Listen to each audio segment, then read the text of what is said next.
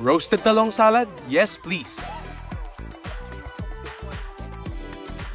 Hiwain ang lahat ng mga gulay at isiso ng mantika at Maggi Magic Sarap. Ilagay sa isang baking sheet at i-bake hanggang ito ay maluto. I-pan fry naman ang kesong puti hanggang sa ito ay maging golden brown. Sa isang plato, ipagsama ang mga gulay, dressing na may Maggi Savor Hot Chili at kesong puti.